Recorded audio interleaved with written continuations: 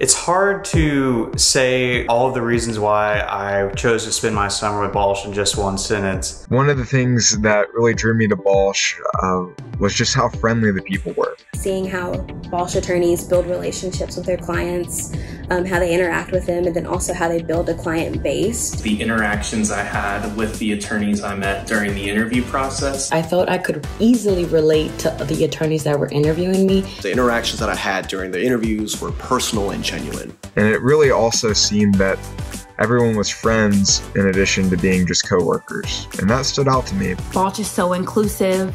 Everybody is kind, and it's just amazing. And when looking for a summer position, it was very important for me to try to find a firm that wanted to give their summer associates a real sense of belonging. And I think I found that here.